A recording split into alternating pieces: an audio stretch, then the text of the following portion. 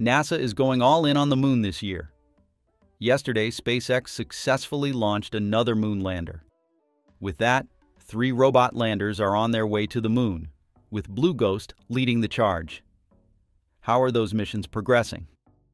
In today's episode, we'll follow their exciting journey and dive into what lies ahead.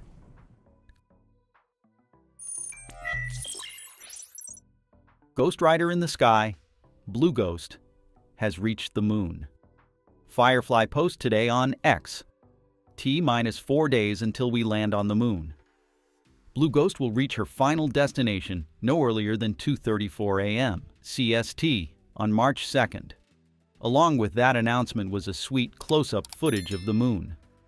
The lander is now orbiting the lunar surface, preparing for its descent.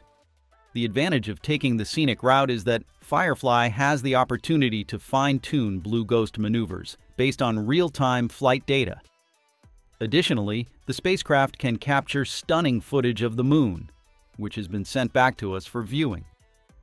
For example, on February 18th, the spacecraft captured a close-up of the moon's far side, an area unseen from Earth, after the lander transitioned from a high elliptical orbit to a lower one, about 120 kilometers above the surface. In addition to flyby footage showcasing the moon's rugged terrain, marked by impact craters, the spacecraft also snapped breathtaking images of the lunar South Pole. In one of the latest footage captured by the lander, we can see the Earth rising and setting behind the Moon, offering a stunning celestial display.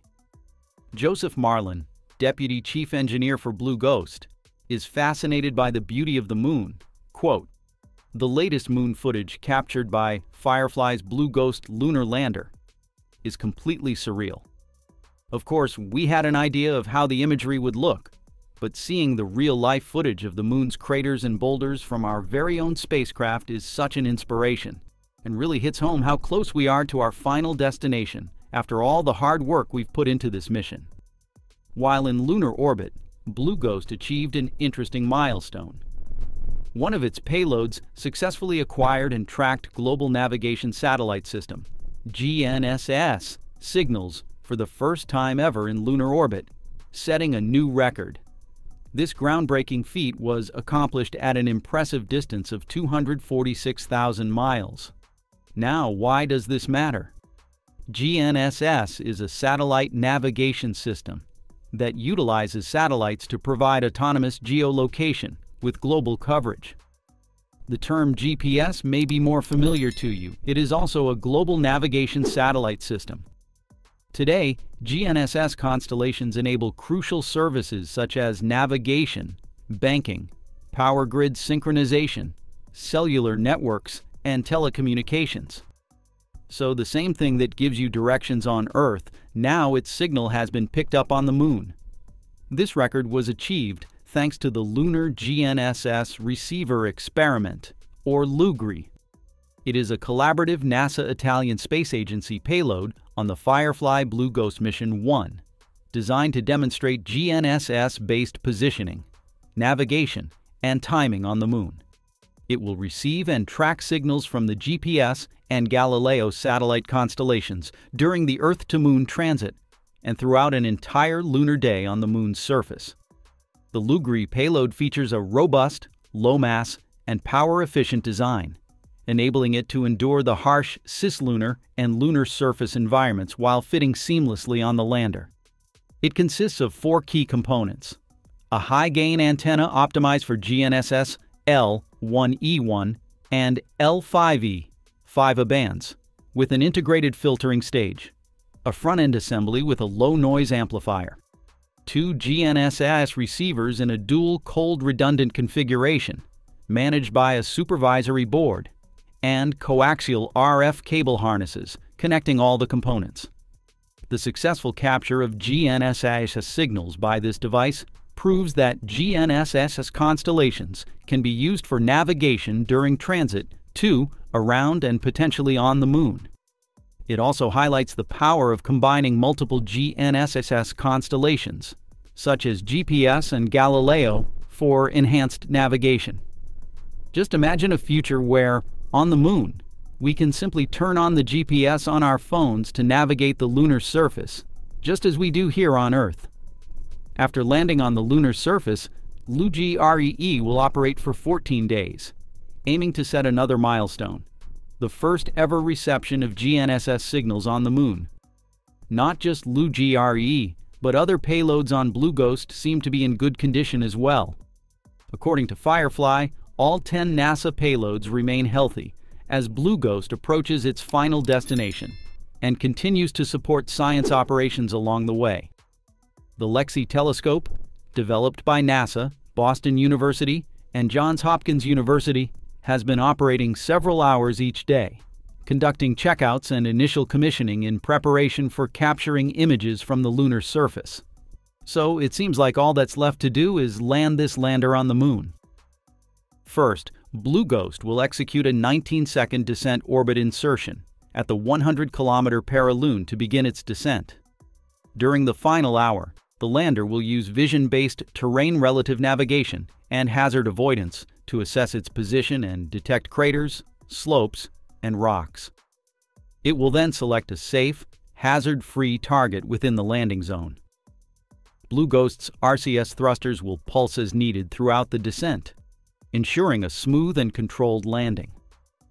The Blue Ghost thruster system, designed and built in-house, features eight Reaction Control System RCS thrusters, named Spectre.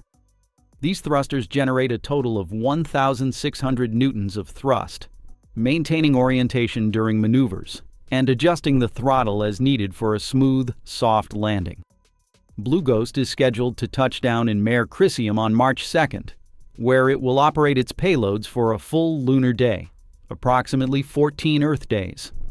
On March 14th, Firefly plans to capture high-definition imagery of a total eclipse as Earth obscures the Sun above the Moon's horizon.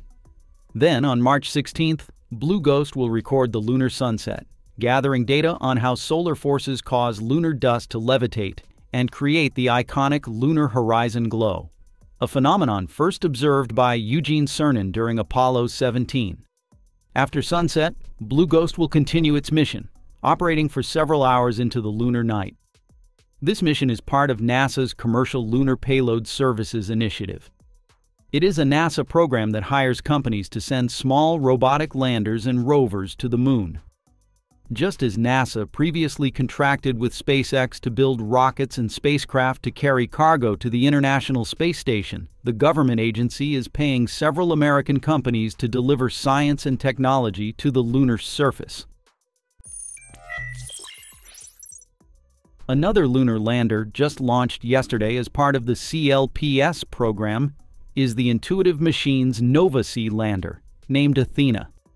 It is a 14-foot hexagonal cylinder on six landing legs that will shuttle several NASA and commercial payloads to the lunar surface to test exploration vehicles and the first communications network on the Moon, drill and analyze samples of lunar soil, and map precious resources like water ice, since it's a methalox propelled lander, the spacecraft will follow a fast, direct trajectory to the Moon. This approach is essential to prevent the cryogenic fuel from boiling off. As a result, it will reach the Moon relatively quickly, just a few days after Blue Ghost, despite launching a month later. Athena is lifted off from Kennedy Space Center, atop a SpaceX Falcon 9 shortly after sunset yesterday evening, embarking on a 10-day mission to the Mons Mouton Plateau near the lunar South Pole. For this mission, the company not only updated its lander design but also expanded its focus beyond lunar landers. One of the payloads aboard IM-2, the Micronova Hopper, is a 29-inch, 77-pound rocket-propelled drone crafted to explore regions that ground rovers can't access. Dubbed the Hopper, in honor of computer science pioneer Grace Hopper, this innovative drone will measure surface temperatures and assess water distribution using instruments from Hungary and Germany. Though built for a 15-mile range, it will perform five shorter parabolic hops and level flights, reaching difficult areas, including a crater that has never been exposed to sunlight. At the landing site, NASA's Polar Resources Ice Mining Experiment 1, Prime 1, will deploy a meter-long drill and a mass spectrometer to search for and analyze subsurface resources that could support future human exploration. The experiment will also measure forces and temperature. Additionally, Blue Origin's Honeybee Robotics will operate the regolith and ice drill for exploring new terrain, Trident, which will drill three feet into the surface. The drill will bring regolith samples to the surface, where the spectrometer will analyze the composition of volatile gases released from the material. The lander also carries a bunch of other payloads like a laser retroreflector array from NASA, a lunar surface communications system from Nokia Bell Labs, and a Japanese rover called Yaoki. Believe it or not, the Japanese lander accompanying the Blue Ghost, the ISPACE's Resilience lander, also part of the commercial lunar payload services. Although traveling on a much slower route than the Blue Ghost, this lander has recently achieved certain successes. On February 15, 2025, the company announced that its Resilience lunar lander successfully completed a flyby of the Moon passing within approximately 8,400 kilometers of the lunar surface. This marks a historic first for a Japanese private commercial lunar lander. Resilience is now on a trajectory toward deep space, set to perform orbital maneuvers that will return it to the Moon in preparation for lunar orbit insertion. While the exact date and time of the insertion maneuver are yet to be determined, it is expected to occur in early May. This mission is critically important for ISPACE, following the failure of its first lunar landing attempt in April 2023. That mission ended in the crash of its lunar lander due to a malfunction in the altitude recognition system, which incorrectly interpreted the spacecraft's position above the Moon's surface. A successful landing this time would mark a major milestone for Japan's growing private space sector. If the mission succeeds, ISPACE will become the first private company from Asia to successfully land on the lunar surface. ISPACE's CEO, Takeshi Hakamada, said during a news conference, This will be a new challenge for us. As a company that has experienced the frustration of failure, ISPACE understands the importance of learning from it and trying again. We aim to achieve a successful moon landing and deliver excitement to the world the Resilience lunar lander, is designed to deliver a micro rover named Tenacious, developed by ISPACE's European subsidiary, to the moon's Sea of Frost, slightly farther west than in the previous attempt. Tenacious, measuring 54 centimeters in length, will collect lunar regolith, soil, which the company plans to sell to NASA. In addition to the rover, Resilience will carry a diverse range of payloads showcasing global collaboration and innovation in lunar exploration. Among these are a lunar water electrolysis device from Takasago Thermal Engineering and a self-contained module from Euglena, designed for experiments in lunar food production.